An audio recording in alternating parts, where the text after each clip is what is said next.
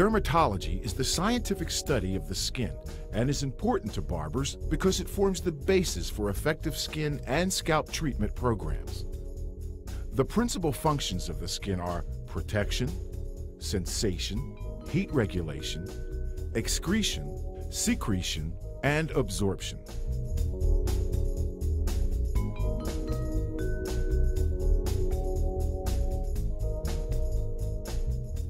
The epidermis is the outermost protective layer of the skin. The dermis is the underlying or inner layer of the skin and is about 25 times thicker than the epidermis. Subcutaneous tissue, also known as adipose tissue, is a layer of fatty tissue found below the dermis. The skin gets its strength, form, and flexibility from protein fibers within the dermis called collagen and elastin. Collagen fibers make up a large portion of the dermis and help to give structural support in this layer. When collagen fibers become weakened, wrinkles and sagging of the skin can occur. Elastin gives the skin its elasticity and flexibility, and the ability to regain its shape after stretching. Blood supply and melanin determine skin color, whether fair or dark. Grains of pigment are deposited in the stratum germinativum of the epidermis and the papillary layer of the dermis. The skin contains two types of duct glands that extract material from the blood to form new substances the sudoriferous glands or sweat glands, and the sebaceous glands or oil glands. Barbers need to recognize lesions such as moles and warts or skin conditions that may be aggravated by facials or shaves.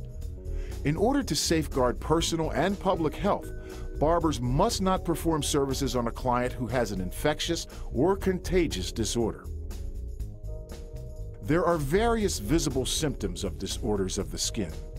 Lesions, in the form of scales, pimples, or pustules, are symptoms that may characterize certain skin conditions. Eczema is an inflammatory skin disease that may be acute or chronic in nature and present in many forms of dry or moist lesions. It is often accompanied by itching or burning and all cases should be referred to a physician for treatment. Herpes simplex is a recurring viral infection that produces fever blisters or cold sores, and while contagious, rarely lasts more than a week. Psoriasis is a chronic inflammatory skin disease characterized by dry red patches covered with coarse, silvery scales. Acne is characterized by chronic inflammation of the sebaceous glands from retained secretions. Although the cause of acne is generally held to be microbic in nature, factors such as adolescence and disturbances of the digestive tract can trigger inflammations. The two basic types of acne are acne simplex or common pimples and acne vulgaris, which is a more serious and deep-seated skin condition. It is always advisable for the client with an acne condition to seek diagnosis and treatment by a competent physician before receiving any facial service.